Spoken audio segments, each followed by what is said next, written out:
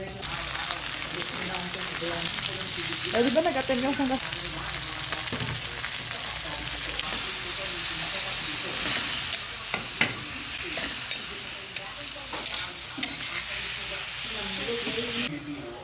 Hindi mo na puro na suka yung ginamit namin.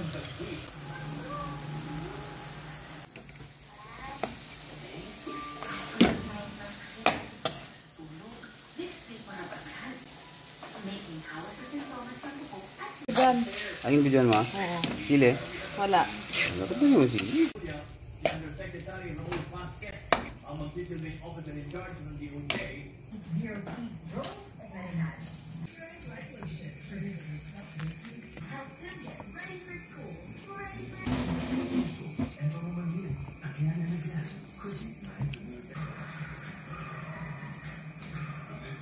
Kahit tayo mga uliog, ang sarap nito. Mm. Sarap.